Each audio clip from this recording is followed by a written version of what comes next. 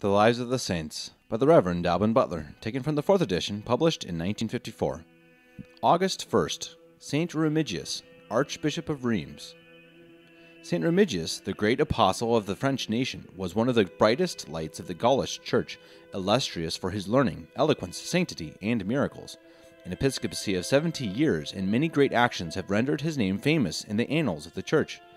His very birth was wonderful, and his life was almost a continued mir- miracle of divine grace. His father, Emilius, and his mother, Cytherea, both descended of noble Gaulish families, enjoyed an affluent fortune, lived in splendor suitable to their rank at the castle of Laon, and devoted themselves to the exercise of all Christian virtues. St. Remigius seems to have been born in the year 439. He had two brothers older than himself, Principius, Bishop of Soissons, and another whose name is not known, but who was father of St. Lupus, who was afterwards one of his uncle's successors in the episcopal see of Soissons. A hermit named Montanus foretold the birth of our saint to his mother, and the pious parents had a special care of his education, looking upon him as a child blessed by heaven, and were careful to put him into the best hands.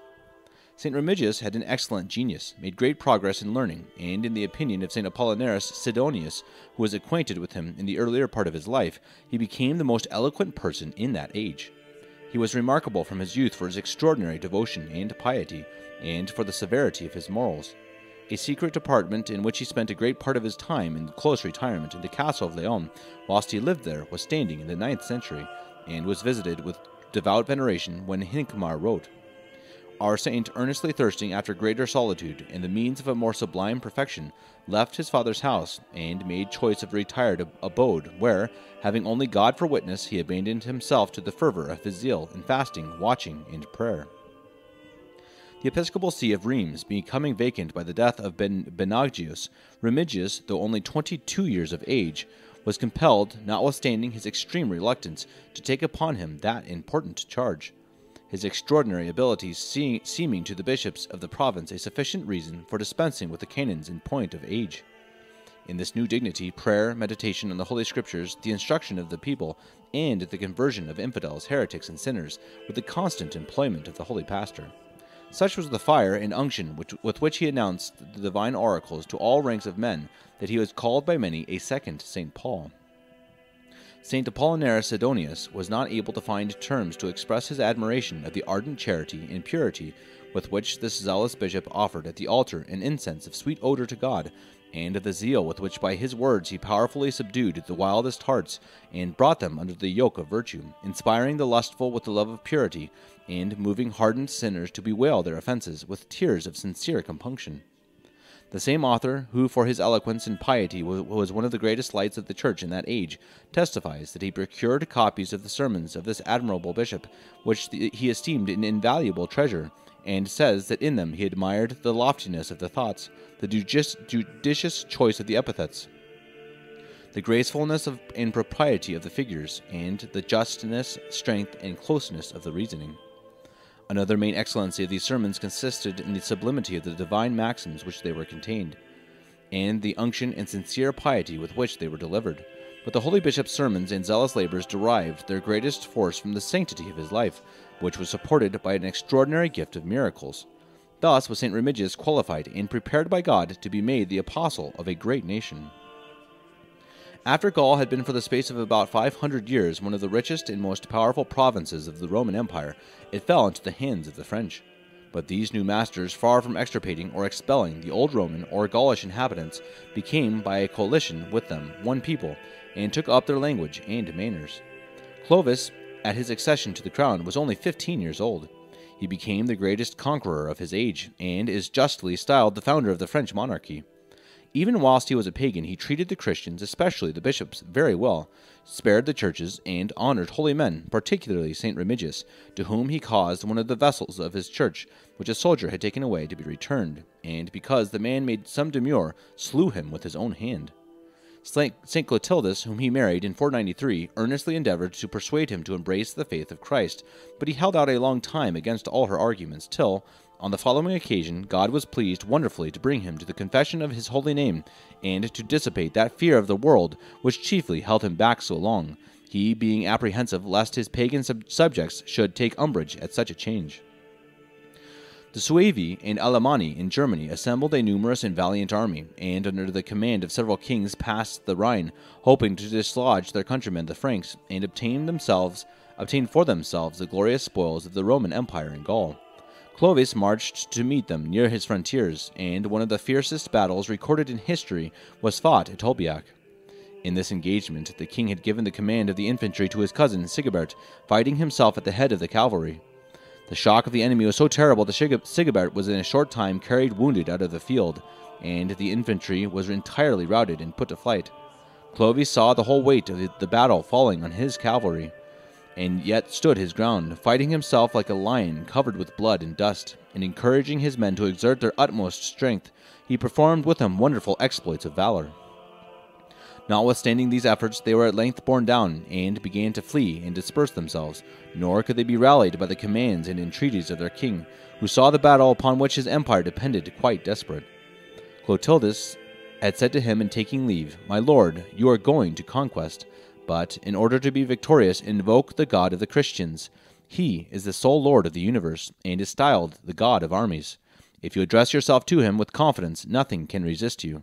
Though your enemies were a hundred against one, you would triumph over them. The king called to mind these her words in his present extremity, and lifting up his eyes to heaven, said with tears, O Christ, whom Clotildis invokes as Son of the living God, I implore thy succor. I have called upon my gods, and find they have no power. I therefore invoke thee, I believe in thee. Deliver me from my enemies, and I will be baptized in thy name. No sooner had he made this prayer than his scattered cavalry began to rally about his person.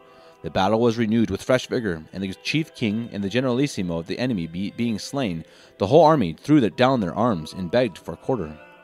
Clovis granted them their lives and liberty upon condition that the country of the Suevi in Germany should pay him an annual tribute. This miraculous victory was gained in the fifteenth year of his reign, of, in, the, in his reign of Christ, 496. Clovis, from that memorable day, thought of nothing but of preparing himself for the holy labor of regeneration. In his, in his return from his expedition, he passed by Toul, and there took with him St. Vedast, a holy priest who led a retired life in that city, that he might be instructed by him in the faith during his journey.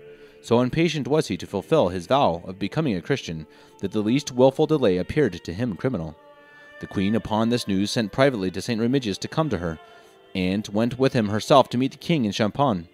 Clovis no sooner saw her, but he cried out to her, Clovis has vanquished the Alemanni, and you have triumphed over Clovis.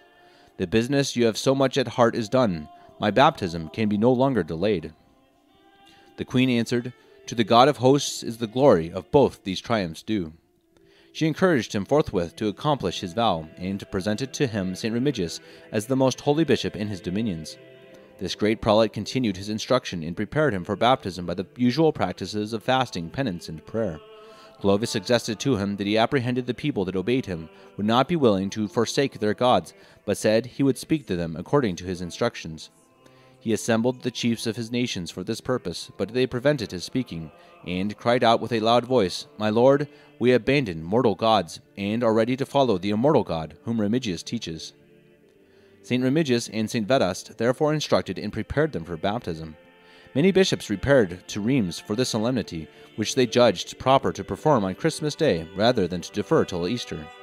The king set the rest an example of compunction and devotion, laying aside his purple and crown and covered with ashes, imploring night and day the divine mercy to give an external pomp to this sacred action in order to strike the senses of a barbarous people and impress a sensible awe and respect upon their minds, the good queen took care that the streets from the palace to the great church should be adorned with rich hangings, and that the church and baptistry should be lighted up with a great number of perfumed wax tapers and scented with exquisite odors.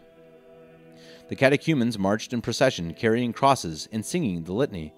St. Remigius conducted the king by the hand, followed by the queen and the people. Coming near the sacred font, the holy bishop, who had with great application softened the heart of this proud barbarian conqueror into sentiments of Christian meekness and humility, said to him, Bow down your neck with meekness, great Sicambrian prince. Adore what you have hitherto burnt, and burn what you have hitherto adored.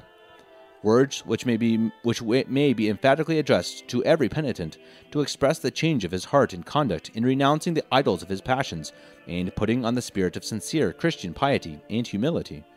The king, after his baptism, bestowed many lands on St. Remigius, who distributed them to several churches, as he did the donations of several other others among the Franks, lest they should imagine he had attempted their conversion out of interest.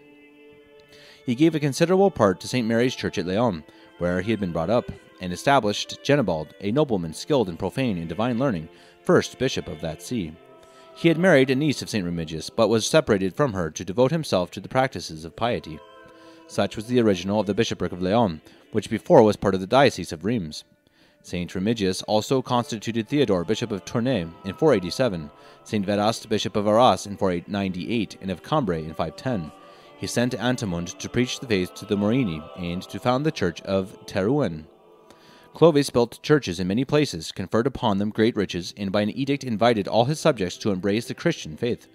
St. Avitus, Bishop of Vienne, wrote to him a letter of congratulation upon his baptism, and exhorts him to send ambassadors to the remotest German nations beyond the Rhine to solicit them to open their hearts to the faith. When Clovis was preparing to march against Alaric in 506, St. Remigius sent him a letter of advice how to govern his people so as to draw down upon himself the divine blessings. Choose, said he, wise counselors, who will be an honor to your name. Respect the clergy. Be the father and protector of your people let it be your study to lighten as much as possible all the burdens which the necessities of the state may oblige them to bear. Comfort and relieve the poor, feed the orphans, protect widows, suffer no extortion. Let the gate of your palace be open to all, that everyone may have recourses to you for justice, implore your, employ your great revenues in redeeming captives, and more. Clovis, after his victories over the Visigoths and the conquest of Toulouse, their capital in Gaul, sent a circular letter to, all the bishops in his dominions, in which he allowed them to give liberty to any of the captives he had taken, but desired them only to make use of this privilege in favor of persons of whom they had some knowledge.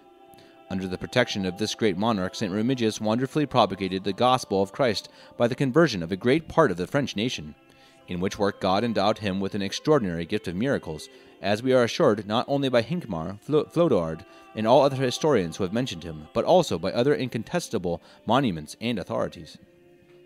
Not to mention his testament, in which mention is made of his miracles, the bishops who were assembled in the celebrated conference that was held at Lyon against the Arians in this time declared they were stirred up to exert their zeal in defense of the Catholic faith by the example of Remigius, who, say they, hath everywhere destroyed the altars of the idols by a multitude of miracles and signs. The chief among these prelates were Stephen, bishop of Lyon, St. Avitus of Vienne, his brother Apollinaris of Valence, and Eonius of Arles. They all went to wait upon Gondebald, the Arian king of the Burgundians, who was at Savigny, and entreated him to command his Arian bishops to hold a public conference with them. When he showed such unwillingness, they all prostrated themselves before him and wept bitterly. The king was sensibly affected at the sight, and kindly raised them up, promised to give them an answer soon after. They went back to Lyon, and the king, returning thither the next day, told them their desire was granted. It was the eve of St. Justus, and the Catholic bishops passed the whole night in the church of that saint in devout prayer. The next day, at the hour appointed by the king, they repaired to his palace, and before him, and many of his senators entered upon the disputation, St. Avitus speaking for the Catholics, and one Boniface for the Arians. The latter answered only by clamors and injurious language, treating the Catholics as worshippers of three gods. The issue of a second meeting some days after was the same with that of the first, and many Arians were converted. Gondebald himself some time after acknowledged to St. Avitus that he believed the Son and the Holy Ghost to be equal to the Father, and desired him to give him privately the unction of the Holy Chrism. St. Avitus said to him, Our Lord declares, Whoever shall confess me before men, him will I confess before my Father.